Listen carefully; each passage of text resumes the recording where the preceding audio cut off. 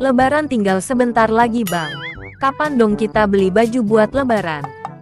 Gimana ya dek? Keuangan kita sudah menipis. Beli baju baru saja setahun sekali. Masak tahun ini kita ndak beli. Kita cari yang murah-murah sajalah bang. Hari gini masa ada yang murah toh dek? Pengemis aja tersinggung dek.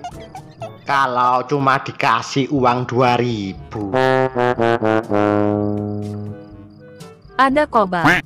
Toko baju baru di depan rumah kita. Di situ murah dan lengkap bang. Masak baju gamis cuma 7000 Celana jeans 8000